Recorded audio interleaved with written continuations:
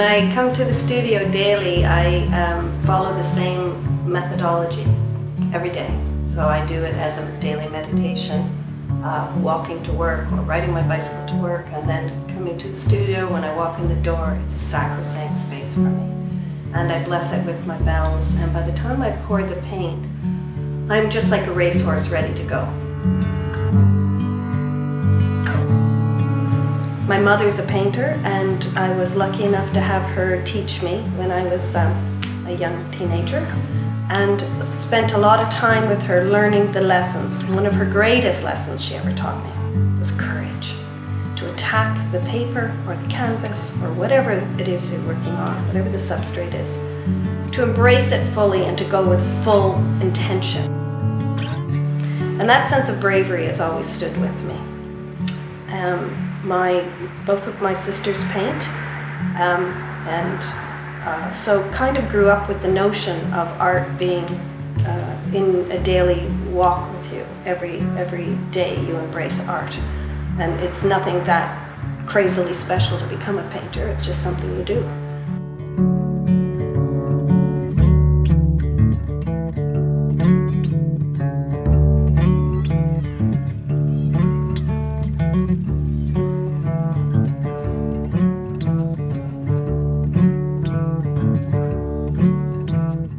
It's like magic every time I walk through the door.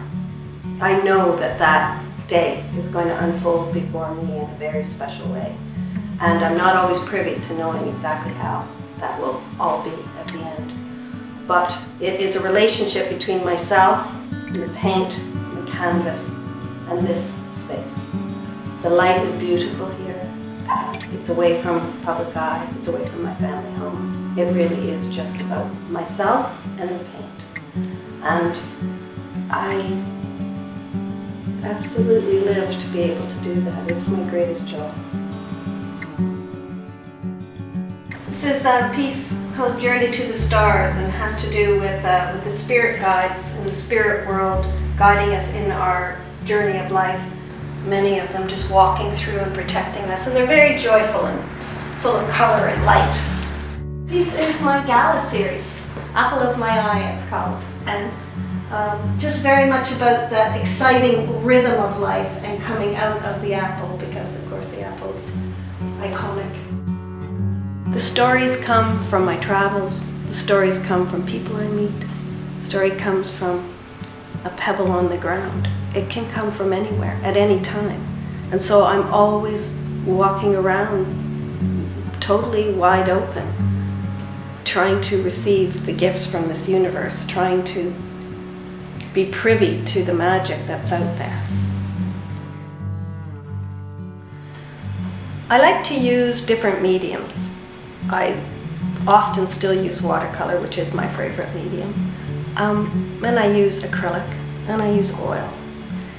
Um, and I like to also bring in other elements. Sometimes I work with Japanese papers that are handmade and the effort and the love that has gone into the drawing of those in the winter is, creates the white, beautiful paper, the kozo paper.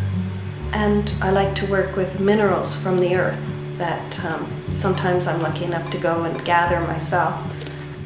Also recently received some diamond dust from Tiffany's of Canada and been using that in a lot of the work also and uh, 24 karat gold leaf and the idea being that the pigments of the earth are all so important and so rare. Um, paints are made from raw pigment of the earth.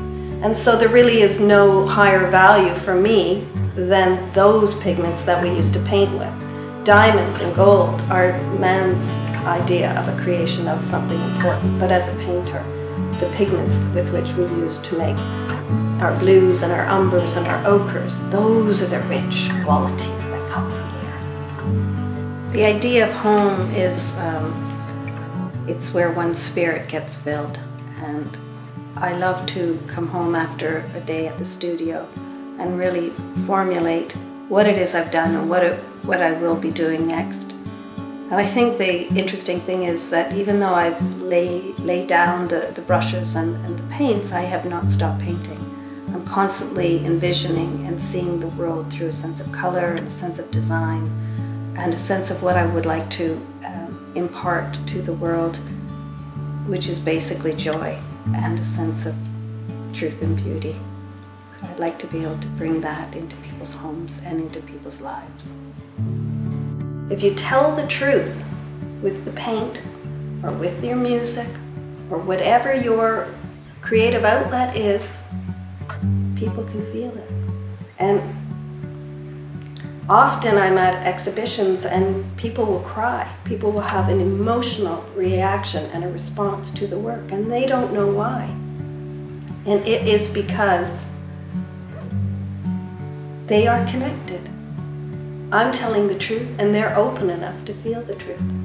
That kind of magical quality is something that is truly unspoken. That's the power.